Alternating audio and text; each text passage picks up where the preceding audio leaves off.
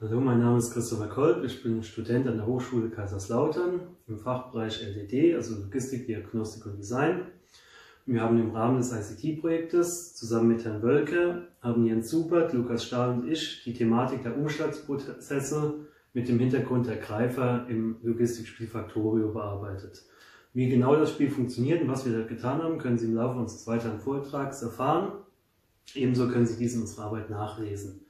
In diesem Video wollen wir nur mal kurz für uns festhalten, was wir bei diesem Projekt für uns gelernt haben und wo wir festgestellt haben, wo wir noch deutsches Verbesserungspotenzial haben.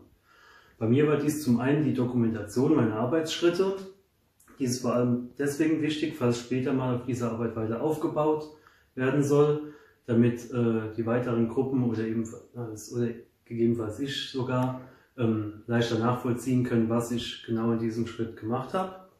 Ebenso habe ich festgestellt, wie wichtig es ist, regelmäßige Teamtreffen zusammen mit dem Projektleiter und dem Projektteam abzuhalten, um unsere Etappenziele zu definieren und dafür auch einen zeitlichen Rahmen festzulegen, in welchem wir dann auch eine gewisse Pufferzeit einberechnen können, je nachdem, ähm, ob wir noch Änderungen vornehmen wollen. Des Weiteren ist es mir aufgefallen, was für mich der größte Punkt war, ist meine Stärken und Schwächen besser einzuschätzen und dementsprechend auch meinen Zeitplan zurechtzulegen, sprich dass ich für die Arbeitsschritte, wo ich meine Stärken drin sehe, nicht ganz so viel Zeit einplanen muss, wie für die Arbeitsschritte, welche mir schwerer fallen und mir dementsprechend meinen Zeitplan besser anpassen kann, um die Etappenziele dann auch fristgerecht erreichen zu können. Dann kurz nochmal zum Spiel Factorio. Factorio ist eben ein Logistikspiel, wo man gewisse ähm, Logistikprozesse nachsimulieren kann. Die Handlung besteht eben kurz und knapp darin, dass man auf einem fremden Planeten strandet und das Ziel ist es eben, so schnell wie möglich nach Hause zu kommen. Ähm, der Hintergrund dieser Arbeit war nun eben, wie man auch ähm, das Spiel in unserem Logistikstudiengang einbauen könnte und eventuell Module finden, wo dies am besten geht.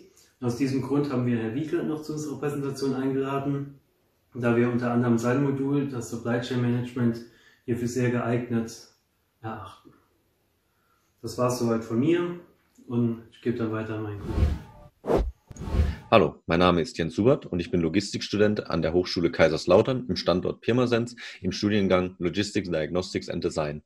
Im Rahmen unseres ICT-Projekts hat sich unser Team ISATA mit der Thematik des Spiels Factorio und dessen Anwendungsmöglichkeiten im Logistikstudiengang befasst.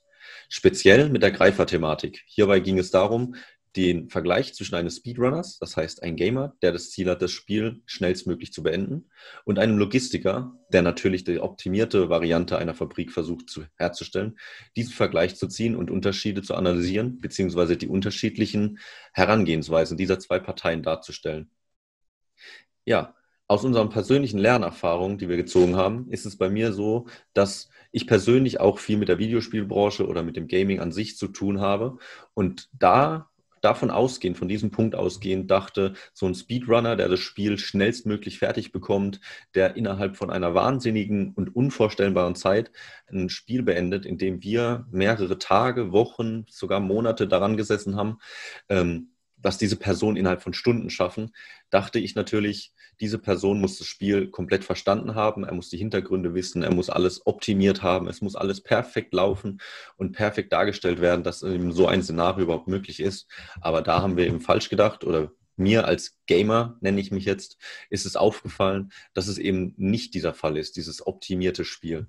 Das ist bei unserer Analyse der Arbeit dann eben sehr stark aufgefallen, dass ein Gamer beziehungsweise ein Speedrunner im Speziellen wirklich nur darauf auf ist, mit dem maximalen Ziel des Raketenabschlusses in diesem Beispiel äh, an, die Spiel, an das Spiel herangeht.